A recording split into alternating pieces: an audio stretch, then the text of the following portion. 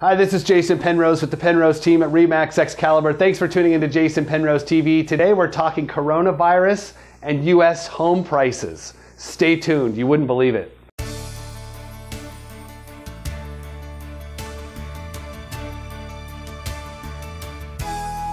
Thanks again for tuning into Jason Penrose TV. Today we're talking about a really hot topic about the coronavirus. It seems to be everywhere on the news, on the internet, wherever you go. That's what people are talking about and how does that impact US real estate? So it is interesting, but we are starting to see a decrease in Chinese investment here in the United States.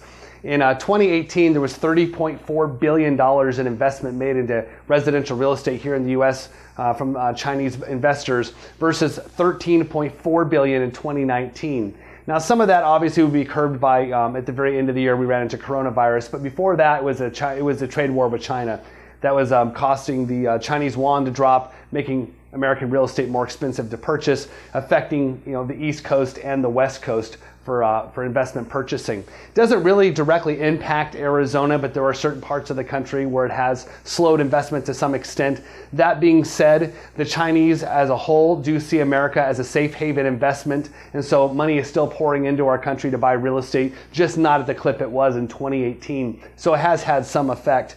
If you have any questions about different factors in your area and what could be affecting your home price because real estate is local, Give me a call anytime on my phone number, 602 738 9943. Make sure to share this video with friends and family. I look forward to hearing from you soon. Take care.